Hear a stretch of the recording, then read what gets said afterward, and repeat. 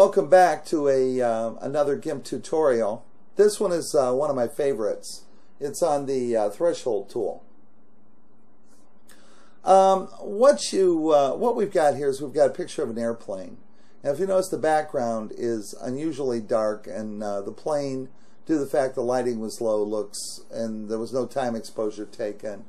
It looks um, a lot like it was taken with a flash. It was an older camera. The flash didn't have the power. There was no place to bounce off of. So basically, it looks like it was really taken with a flash. Now, the objective in this is to lighten up the background without, without affecting the detail in the plane. So what I'm going to do with this is I'm going to do it through the uh, threshold function. Um, i have got this layer here called airplane. I'm going to duplicate this layer. I'm going to rename that layer and uh, under layer attributes and we're going to call it uh, background. And we'll say OK. Now what I'm also going to do here is I'm going to add a new layer and the purpose of this will be uh, evident in a moment. But now in this background layer, I'm going to select this background layer. I'm going to come up here to colors and I'm going to select threshold. What threshold does is selects on either side of this pointer and this value uh, luminosity ranges and just divides the image. Here's the darker part of the image, here's the lighter part of the image. Now if I slide this more into the darker portion, you'll see less is um, um, actually selected. So what I'm going to do is I'm going to slide oh, right about there because I still want some of the uh, uh, I want uh, most of the plane untouched. So I'm going to say OK. I've selected that. I'm going to come up to my color select tool and I'm going to select this region. Uh, this region of the image that is represented by that uh, luminosity level.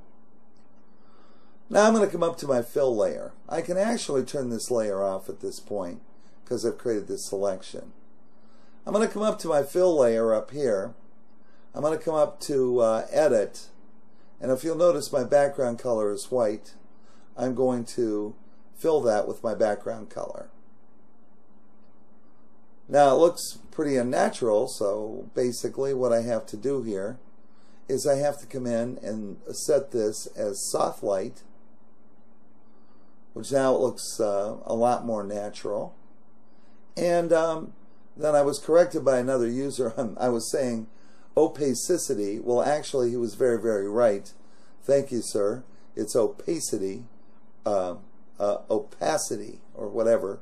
I'm going to have to learn how to say that word.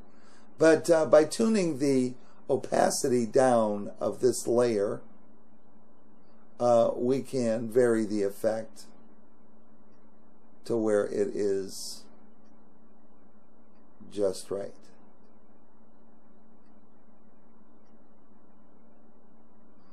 Okay.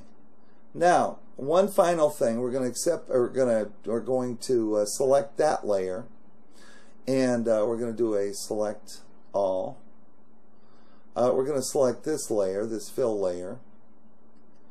We're going to come over to our filters, and uh, blur and Gaussian blur.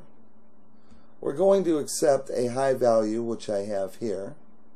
I'm going to say OK.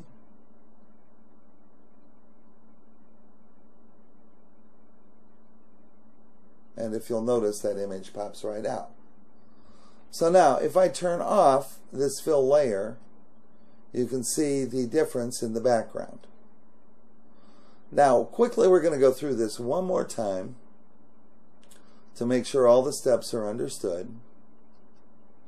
Okay, I have a layer. It's called airplane. I'm going to duplicate that layer and we're going to call it uh, background. I'm going to say OK. With that background layer um, selected, I'm going to come over here to my threshold and I'm going to select around 100 because I want the majority of, I want the majority, of the background, but uh, not all the airplane. I don't want the airplane brightened. In fact, we can probably even take it slightly more. So we're going to say, or actually slightly less. And we're going to say OK. So we've selected that. Now we're going to come up to our color select tool, select um, this luminance range, basically with our color select tool, which we have now done. Then we're going to move up here. We're going to add a layer, and the layer is going to be called fill. It's going to be transparent. We're going to say OK. So I have a fill layer on top. Uh, we can, and now we're going to select, and I mean we're going to go to Edit, and fill that layer with the with white, which is our background color, but we're filling it with white. Now we're going to turn off that background layer. We see our image looks unusually, um, it looks kind of goofy. But if we come up here and we go to select our mode as soft light, you'll notice that it looks almost natural. What we have to do though now, so we have to bring this down slightly.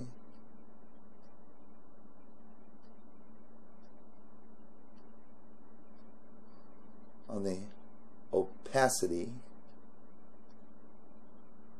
okay until we get the desired effect Let me do a select all and then what we can do is delete the background layer uh, we can come up to image and we can flatten the image.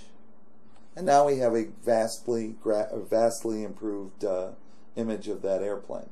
Not perfect. It would take some time to work on it. But um, I hope you've enjoyed um, this tutorial. This is uh, a tutorial on using the threshold tool um, along with um, an image to lighten a, uh, a whole range of values. So uh, please visit uh, the site uh, www.fotolinq.com uh, for a lot more tutorials and this tutorial and others in much um, larger format and with much more clarity and uh, they're served directly off my server. Well, thank you very much and let's continue enjoying and supporting the hobby. Thank you.